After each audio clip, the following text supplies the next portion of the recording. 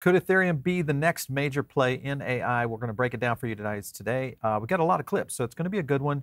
Make sure and stick around. My name is Paul Barron. Welcome back into Tech Path. Before we get started, I want to thank our sponsor, and that is Tangem Self Custody. It's the only way to go, guys. All you have to do is start with the card, and it's very simple. You get the card from Tangem, you get the app, whether you're iOS, Android, and it's very simple to use and super slick, and it's got a tremendous amount of security built into it. This is one of the ones I like out there. Uh, all you have to do is hit that little green button right there, and you'll go right into the three card set. That's the one I would recommend. They did release their recent roadmap uh, here on Twitter just uh, this week. And these are the things that are happening. So, a lot of things happening in April. Uh, the send screen right, redesign, the new 24 seed uh, uh, passphrase support, few other things on dexes and bridges. Uh, there's a new Cardano and Hedera uh, tokens coming in. And then, of course, Tron, Polkadot, transaction history. A lot happening in June, especially around staking. So make sure and check that out. I think I can zoom in on that a little bit there. You can kind of see a little bit more about what's happening in staking in June. And then uh, a lot more on and off ramp uh, providers. So with better rates. So this is a, it's a good, you know, it's a one of the, I think one of the best out there. So make sure and check it out. Use our uh, code. It'll get you an extra 10%. All right, let's get into a couple of points here I want to go focus on. And one, of course, is Ethereum. One of the biggest issues with Ethereum is the fact that it is decentralized. And of course, this means you need a lot of validators. And with over 1 million validators now in the ETH ecosystem, definitely one of the most powerful systems within crypto as a whole. I want to cut to a clip that kind of goes into a little bit more about why ETH could be an AI strategy for BlackRock. Listen in. Uh, but not all of these stocks, not all of these stories, not all of these narratives are created equal. And as much as I would like to see every part of the market rise uh, without um, any pause, I, I, I just think the biggest winners are going to be the biggest growers, and we're not just going to broaden out for the sake of rotation. Is that a, is that AI? Is that what you're saying? It's hard not to love AI, but AI adjacent themes as well. Combined with earnings, which are still going to be a major focus for all fundamental investors, you know, there are a lot of enablers in the software space. Obviously, we've taken a good look at a lot of the data centers and other um, companies and industries that kind of enable the AI revolution. And of course, we're focusing really hard on those companies that own the data in each of their industries because they're going to be the winners. All right, so let's get to another clip here. This goes into some of the strategies that BlackRock is taking around some of these companies that are kind of connecting the dots. Listen in. We also recently learned that BlackRock, the world's largest asset manager, got into the asset tokenization race, creating a fund on the Ethereum network. So, what does that signal to you? It signals I think something that we've expected for a long time, which is that as money comes into this crypto and blockchain ecosystem, if you want a crypto asset, you will buy Bitcoin. But if you want a tokenized digital asset, you will buy those on the Ethereum platform. Even if it's not a cryptocurrency, if it's a real world asset, gold, oil, you name it, it's going to be on the Ethereum ecosystem. There are always better platforms. Technology keeps moving along. However, what happens is we tend to pick a platform that's widely adopted and it gets a lot of momentum. And we see that in computing platforms all the time. Windows is the world's desktop operating system. IBM has the dominant share, is the 100% share of the mainframe business. Ethereum is, if you think of Ethereum as a computing platform, this idea that we would have a single dominant platform makes a lot of sense.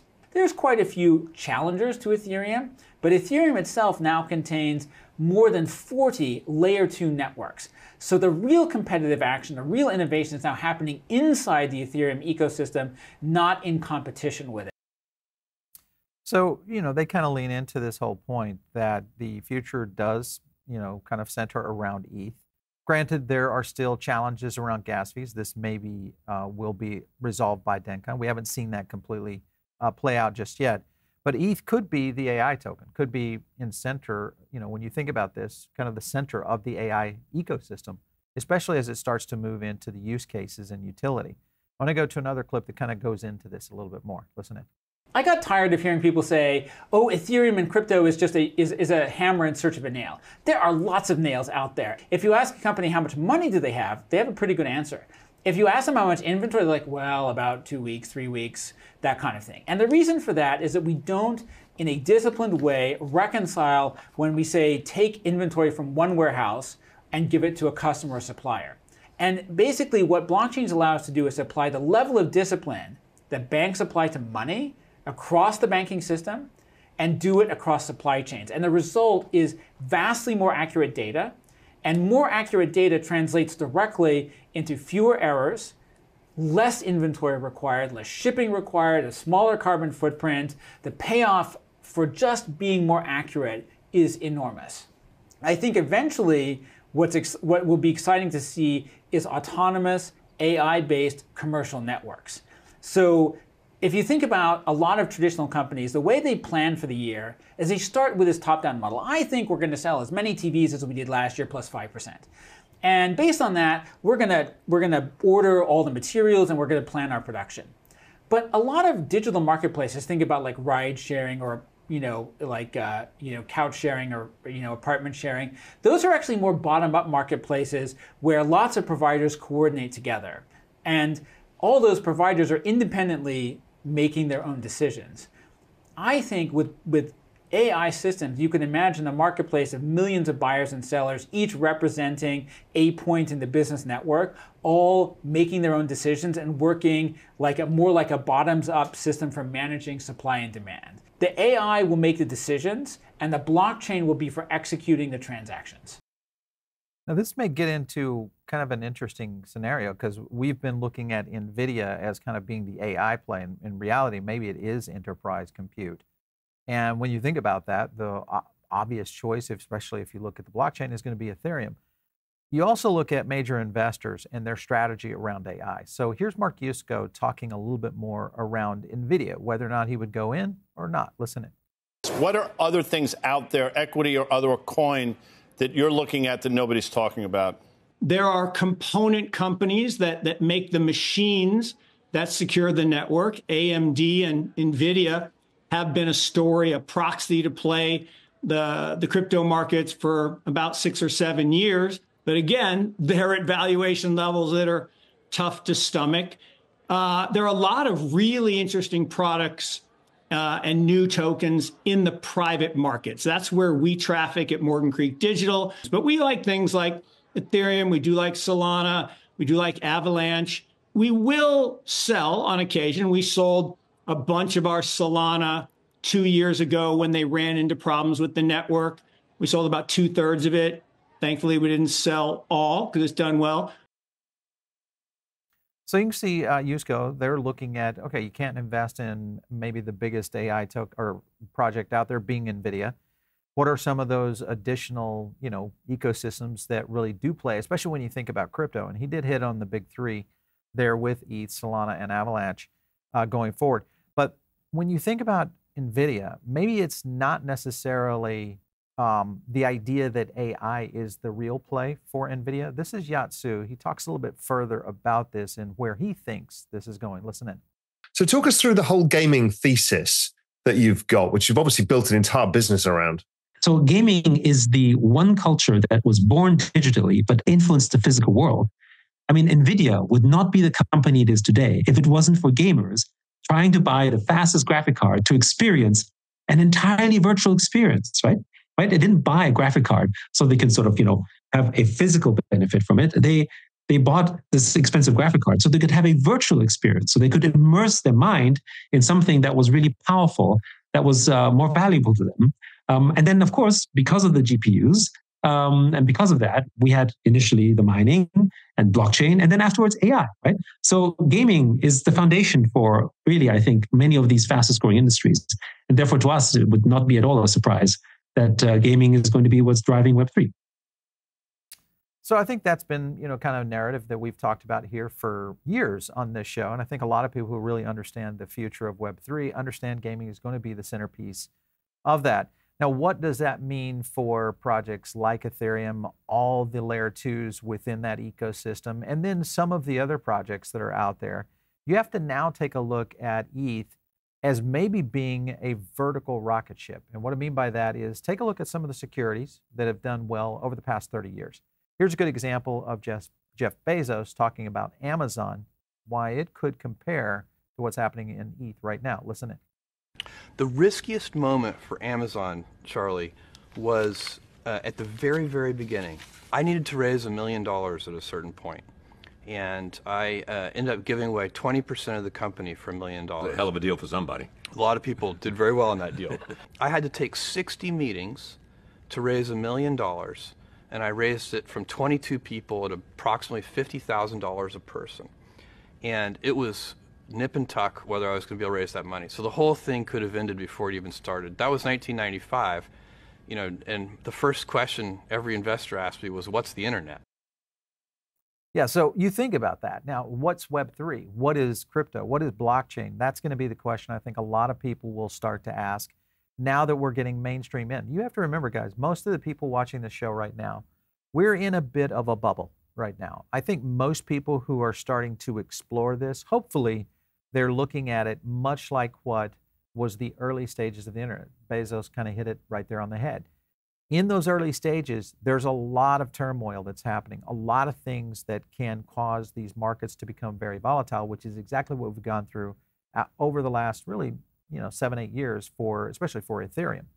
I want to dive into another situation because you have to also compare this to what's happened with Apple going forward. Now, Apple has a huge event, and they're going to be probably trying to double down on AI. It's coming out in June. It's the big, you know, developers conference. Take a look at this clip.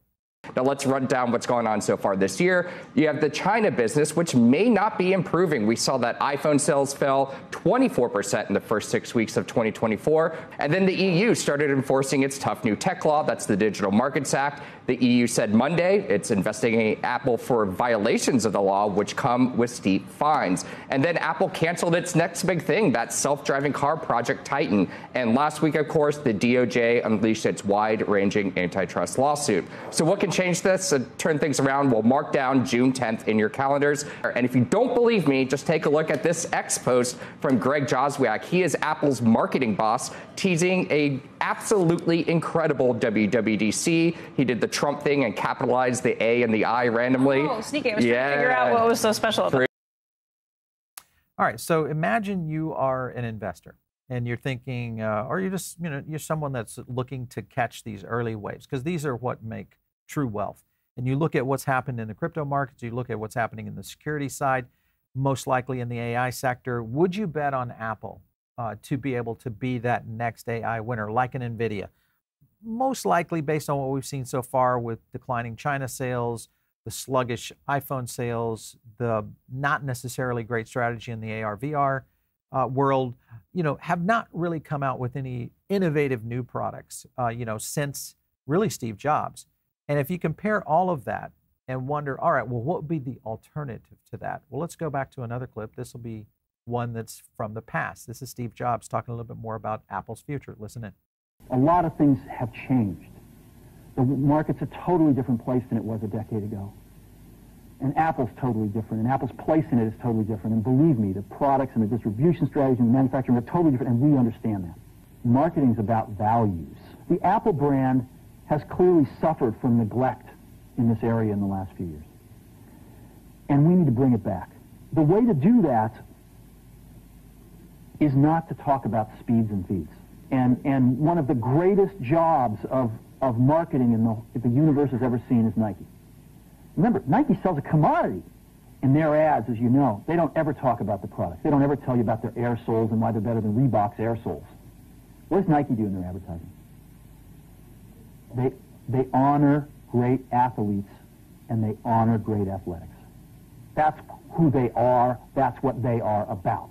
Our customers want to know who is Apple and what is it that we stand for. What we're about isn't making boxes for people to get their jobs done. So the vision of jobs was pretty simple. Uh, you know, this is one that I've studied for quite some time, you know, in my tech career. And if you look back at the history of Apple, it all started around this 2008 period right here. I'm showing here on the chart. And that 2008 period was the beginning and really the birth of Apple just literally going vertical. And it has done, done nothing but go up since then. Obviously, is this another time in which Apple, this is on the monthly chart, just to give you guys a, a little bit of a, an idea. This is the chart moving on Apple. Yeah, right there. That's Apple right there. So if you could imagine, has Apple finally hit the wall?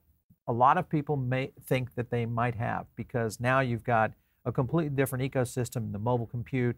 You've got a completely different ecosystem around innovation, and that's the one thing that Steve Jobs, I think, would have done differently than Tim, or excuse me, than Tim Cook. And that is, I think he would have opened the doors for innovation, innovation around blockchain, NFTs, gaming, all of that. I think Apple would have embraced had they had a different strategy, and that probably is one of the things that could take them into another two decades of growth, much like what they've seen since 2008. This is a big, I think this is a big shift going forward. And I think the companies that are going to be around this in the next five, ten years, unfortunately, may not necessarily be Apple. We'll see how all this goes. And they are exactly right. Nike, of course, continues to kind of just bury the hatchet in terms of the opportunities. We've already seen RTFKT. They are now, it becomes the highest earning brand for NFT sales. This is going to do nothing but explode on this. Just to give you an example of some of the facts right here, number of secondary market transactions, they reached 67,500, top 1.29 billion, ranking first among all 12 listed NFT issued brands. Now remember, that's a Main Street real world brand that operates, like Jobs said, in the ether, so to speak. They don't necessarily sell shoes, they're selling an idea. And I think that's what Ethereum is. It is selling an idea, an idea of innovation, freedom, all the things in terms of collection, gaming, self identification, the future of Web3, all of that is a much bigger picture. And I think that's the key here for the future of AI. So hopefully this will kind of lay it all together. I want to play one more clip for you from Steve Jobs on could Ethereum be the next Apple? Listen in. Apple at the core, its core value is that we believe that people with passion can change the world for the better. And that those people that are crazy enough to think they can change the world are the ones that actually do. Explain to me why this technology is so transformational that people think it'll change the world. Mm-hmm. Because they represent kind of epochal changes in the, the options that we have for interacting with each other. With uh, Bitcoin, it's uh, you don't need banks to send money anymore. It's just something that happens directly peer to peer. And Ethereum extends that to making digitally enforceable agreements. But that changes whole industries, doesn't it? And it hasn't yet, but we'll see. Do you feel like the destroyer of worlds here? I mean, you can essentially eliminate how many jobs by doing that? Make destroyer I of jobs, creator of better ones. Because that's pretty good. I like that. Destroyer of jobs are the creator of better ones. Point is, is that ideas are really the currency for the future. Whether you think about AI, whether you think about what's going to happen in blockchain, medicine, the next evolution of even mankind, all of this has an opportunity to go to the next level. The key here are the companies that are the gatekeepers. Those are the ones we have to kind of keep an eye on and really kind of break down those walls. That's what we're doing right now. That's what we're starting to see, I think, with the Ethereum ecosystem, along with many others in the layer one area. There's a lot of opportunity here. I think you guys obviously are listening in. If you're not, Tied into our Diamond Circle, though, that's the next place to go. And that is get a free subscription to that. It's additional content and some of our own emails that communicate with you guys on a daily basis. And it's a great place to get additional alpha. Uh, if you guys want to catch me, it's out there on X at Paul Barron. We'll catch you next time right here on TechPath.